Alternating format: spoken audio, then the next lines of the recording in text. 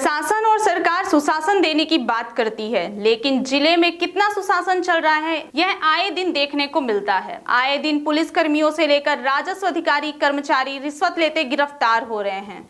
जिन खबरों को देखकर आप अनुमान लगा सकते हैं कि कितना सुशासन चल रहा है। खासकर न्यायालय से जुड़े मामले में अगर घूसखोरी का मामला सामने आए तो निश्चित तौर पर सवाल खड़े हो जाते हैं कि आम जनता को न्याय कैसे मिलेगा। ऐसा ही एक बार फिर एडीएम कार्यालय का सहायक ग्रेड बाबू पैंतीस सौ की रिश्वत लेते गिरफ़्तार हुआ है। अभी हाल ही में एडीएम का रीडर मनगवा में गिरफ़्तार हो चुका था।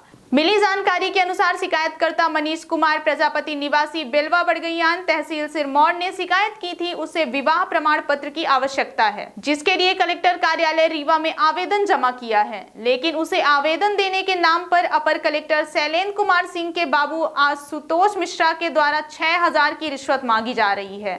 इतना ही नहीं, धमकी दी जा रही है कि पैसे नहीं दोगे तो तुम्हारा आवेदन निरस्त कर दिया जाएगा।